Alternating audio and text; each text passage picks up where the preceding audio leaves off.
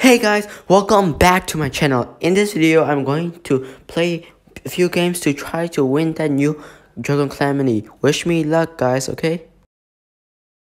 And I did. I did win that cool Dragon Calamity. My god, I really like it. That was so lucky of me. Thank you, Pixonic.